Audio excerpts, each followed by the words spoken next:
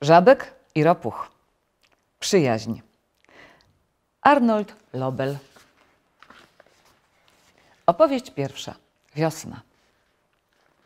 Pewnego dnia żabek przybiegł do domu ropucha.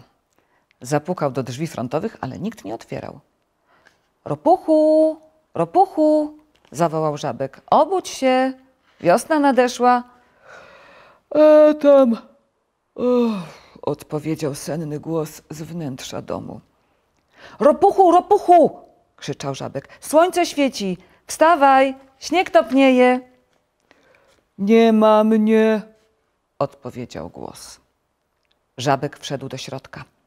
W domu ropucha było ciemno. Wszystkie okiennice pozamykane. Ropuchu, gdzie jesteś? zapytał żabek. Idź sobie, odpowiedział głos z kąta pokoju. Ropuch leżał w łóżku, przykryty czym się dało, razem z głową. Żabek podbiegł do łóżka i zrzucił z niego ropucha, a potem wypchnął go przed dom, aż na ganek. Ropuch zamrugał, oślepiony słońcem. Ratunku! Ratunku! Nic nie widzę! Nie bądź niemądry, powiedział żabek. Widzisz czystą, ciepłą, kwietniową jasność, a to oznacza, że mamy przed sobą kolejny rok, który spędzimy razem. Będziemy skakać po łąkach, biegać, biegać po lasach i pływać w rzece. A wieczorami będziemy siadać tu na ganku i liczyć gwiazdy. Sam sobie je licz, żabku, mruknął zaspany ropuch. Ja jestem o, zbyt zmęczony, wracam do łóżka. I ropuch wszedł do domu, wgramolił na łóżko, po czym znowu nakrył się aż po czubek głowy. Ależ ropuchu, w ten sposób prześpisz najlepszą zabawę, krzyknął żabek. Posłuchaj, żabku, powiedział ropuch. Powiedz mi, jak długo spałem? Spałeś od listopada, odparł żabek. W takim razie. O, jeszcze trochę snu mi nie zaszkodzi, powiedział ropuch. Przyjdź mnie obudzić gdzieś tak w połowie czerwca. Dobranoc, żabku. Ale ropuchu, zaprotestował żabek. Do tego czasu będę bardzo samotny. Ale ropuch nie zareagował. Już spał. Żabek zerknął na ropuchowy kalendarz. Kartka z listopadem rzeczywiście była na wierzchu. I wtedy wpadł na genialny pomysł. Zerwał listopad, potem zerwał kartkę z grudniem, następnie ze styczniem, z lutym, aż wreszcie z marcem. Tak doszedł do strony kwietniowej. Te również zerwał. A potem podbiegł do łóżka ropucha. Ropuchu, ropuchu, pobudka, już maj. Co? Zdziwił się ropuch. Maj? Tak szybko? Jasne, powiedział żabek. Spójrz na kalendarz. Ropuch zerknął na kalendarz. Wisiała na nim majowa kartka. O rety, rzeczywiście maj, powiedział ropuch, wygrzebując się z łóżka. Po czym wybiegli z żabkiem na dwór, by popatrzeć, jak wygląda świat na wiosnę. Bajka. Pewnego letniego dnia żabek poczuł się jakoś nie bardzo. Żabku, coś zielono wyglądasz, zauważył ropuch. Ale ja zawsze wyglądam zielono, odparł żabek. Przecież jestem żabą. Tak, tylko że dziś wyglądasz za bardzo zielono, nawet jak na żabę, powiedział ropuch. Połóż się w moim łóżku i odpocznij. Ropuch zaparzył żabkowi filiżankę gorącej herbaty. Żabek wypił herbatę i powiedział: Ja będę odpoczywał, a ty opowiedz mi jakąś bajkę. Dobrze, odpowiedział ropuch. Niech pomyślę, hmm, co by ci opowiedzieć? Ropuch myślał, myślał, ale nie przychodziła mu do głowy żadna bajka, którą mógłby opowiedzieć żabkowi. Wiesz co? Wyjdę na ganek i pospaceruję w tej i z powrotem. Mam nadzieję, że to pomoże mi coś wymyślić. Ropuch chodził po ganku przez dłuższy czas, ale nadal nie przychodziła mu do głowy żadna bajka, którą mógłby opowiedzieć żabkowi. Wtedy ropuch wrócił do domu i stanął na głowie. O, dlaczego stoisz na głowie? zapytał żabek.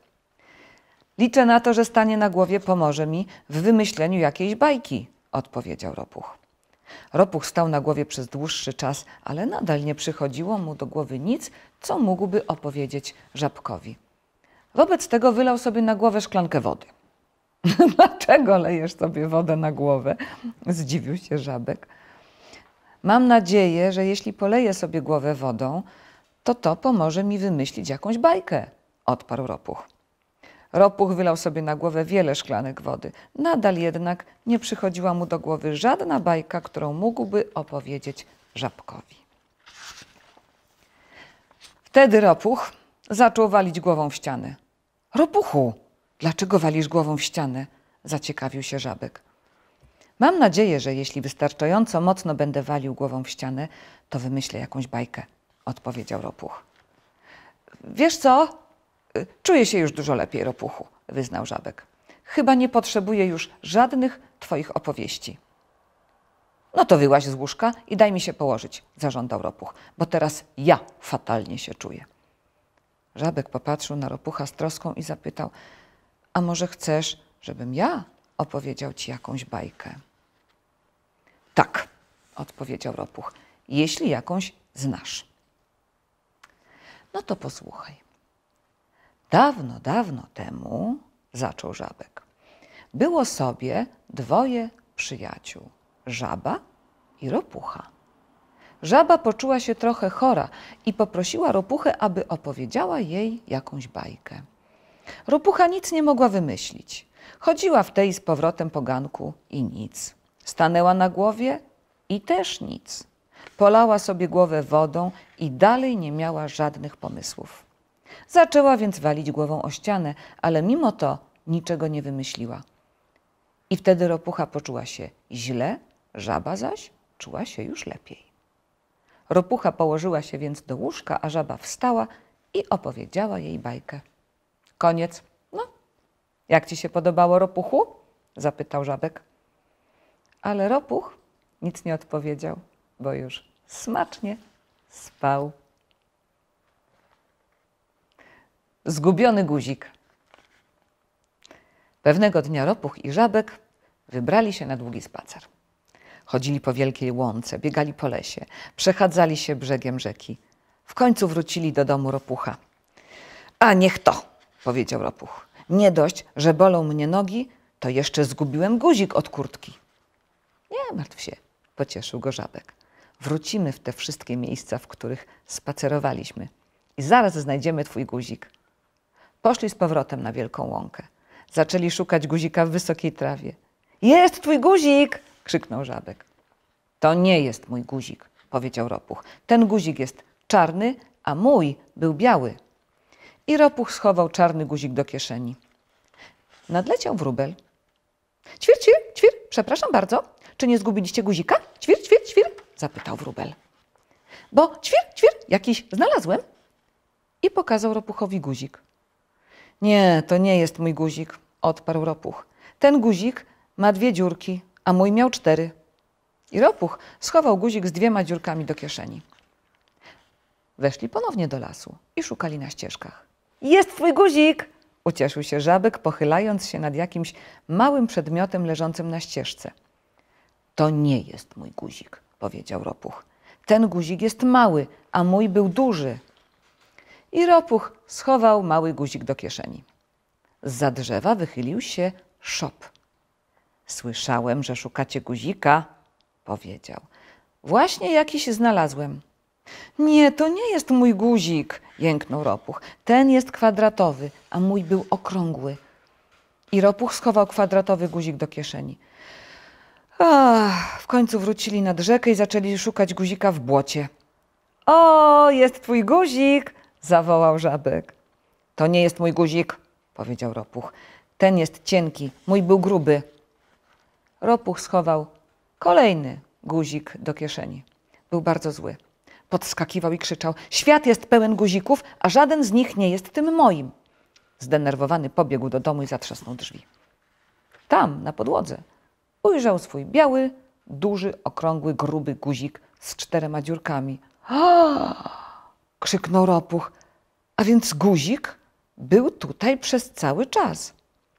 Ojej, ale narobiłem żabkowi kłopotów. Ropuch wyjął wszystkie guziki, które miał w kieszeni. Z półki zdjął pudełko z przyborami do szycia. Przyszył guziki do kurtki wszędzie tam, gdzie się dało. Nazajutrz Ropuch podarował swoją kurtkę żabkowi. Żabek był zachwycony. Włożył ją i skakał z radości. W dodatku żaden guzik nie odpadł. Ropuch bowiem przyszył je bardzo solidnie. Kąpiel. Ropuch i Żabek wybrali się nad rzekę. Ale wspaniały dzień na kąpiel, powiedział Żabek. Tak, potwierdził Ropuch. Pójdę za te kamienie i włożę strój kąpielowy. Ja nie używam strojów kąpielowych, powiedział Żabek. A ja tak, odparł Ropuch. Jak już włożę kostium, to nie wolno ci na mnie patrzeć, dopóki nie wejdę do wody. Dlaczego? zapytał Żabek. Bo w tym kostiumie wyglądam śmiesznie, dlatego. Żabek zamknął oczy, a ropuch wyszedł z za kamieni. Miał na sobie kostium kąpielowy. Nie podglądaj, powiedział. Żabek i ropuch wskoczyli do wody. Pływali przez całe popołudnie. Żabek pływał szybko i bardzo chlapał. Ropuch pływał wolno i chlapał mniej. W pewnej chwili na brzegu rzeki pojawił się żółw. Żabku, powiedz temu żółwiowi, żeby sobie poszedł, poprosił ropuch. Nie chcę, żeby mnie widział w kostiumie kąpielowym, kiedy wyjdę z wody. Żabek podpłynął do żółwia. Żółwiu, powiedział żabek, będziesz musiał sobie stąd pójść. A dlaczego? zapytał żółw. Bo ropuch uważa, że wygląda śmiesznie w kostiumie kąpielowym i nie chce, żebyś go w nim zobaczył, odparł żabek. Nieopodal siedziały jaszczurki. Czy ropuch rzeczywiście śmiesznie wygląda w kostiumie kąpielowym? zapytały. Z trawy wypełzł wąż. Jeżeli ropuch naprawdę wygląda śmiesznie w kostiumie kąpielowym, to ja na przykład chcę go zobaczyć. My też chcemy go zobaczyć, powiedziały dwie ważki. Ja też, ja też, dodała polna mysz. Dawno już nie widziałam niczego śmiesznego. Żabek podpłynął z powrotem do ropucha. Przykro mi, ropuchu. Wszyscy chcą zobaczyć, jak wyglądasz. Dobrze, będę więc tu siedział, aż odejdą, powiedział ropuch. Żółw i jaszczurki, i wąż, i ważki, i polna mysz wszyscy siedzieli na brzegu. Czekali, aż ropuch wyjdzie z wody. Proszę, proszę, idźcie sobie, krzyczał żabek. Ale nikt się nie ruszył. Ropuch zaś marzł coraz bardziej i bardziej. W końcu zaczął się trząść i kichać. Chyba będę musiał wyjść z tej rzeki, bo się zaziębię. I wygramolił się na brzeg. Woda kapała mu z kostiumu na nogi. Żółw zaczął się śmiać. Śmiały się jaszczurki, śmiał się wąż, śmiała się polna mysz i zaśmiał się żabek. Z czego się śmiejesz, żabku? zapytał ropuch.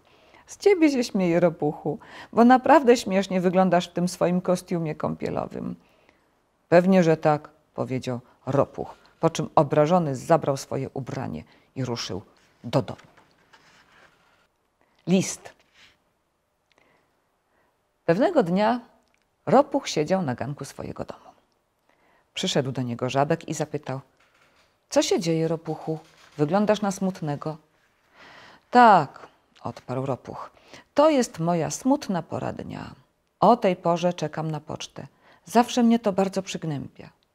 Ale dlaczego? zaciekawił się żabek. Bo nigdy nie dostaję żadnych listów, westchnął ropuch. Żadnych? Żadniutkich? zapytał żabek. Absolutnie żadnych, rzekł ropuch.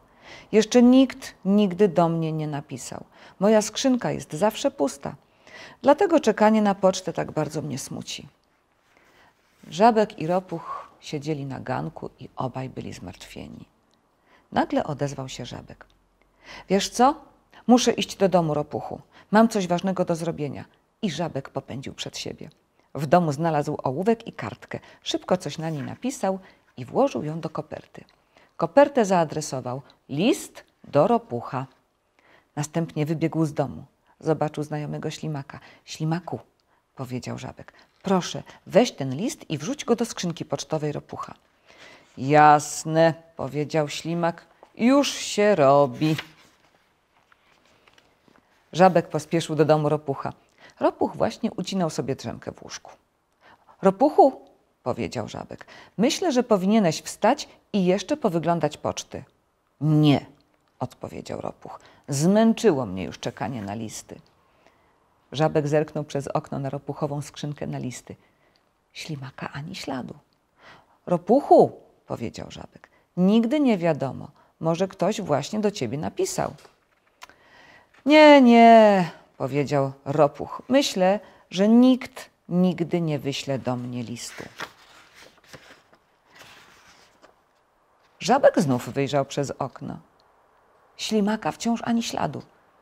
Ależ ropuchu, zaczął żabek. Może właśnie dzisiaj ktoś przyśle ci list. Nie bądź niemądry, odpowiedział ropuch. Nikt dotąd do mnie nie napisał i nikt tego nie zrobi dzisiaj. Żabek kolejny raz wyjrzał przez okno. Ślimaka nadal ani śladu. Żabku, dlaczego wciąż wyglądasz przez okno? zapytał ropuch. Bo czekam na pocztę, odparł żabek. Ale nic nie przyjdzie, powiedział ropuch. A właśnie, że przyjdzie, powiedział żabek. Napisałem do ciebie list. Naprawdę? zdziwił się ropuch. Co napisałeś w tym liście? Żabek na to. Napisałem. Drogi ropuchu, cieszę się, że jesteś moim najlepszym przyjacielem. Twój najlepszy przyjaciel Żabek. O, to bardzo dobry list, powiedział ropuch. I Żabek z ropuchem wyszli na ganek, żeby razem czekać na pocztę. Siedzieli tam i obaj byli bardzo szczęśliwi. Czekali na list i czekali i czekali, a cztery dni później ślimak dotarł do domu ropucha i doręczył list od żabka. I wiecie co? Ropuch był bardzo, ale to bardzo zadowolony.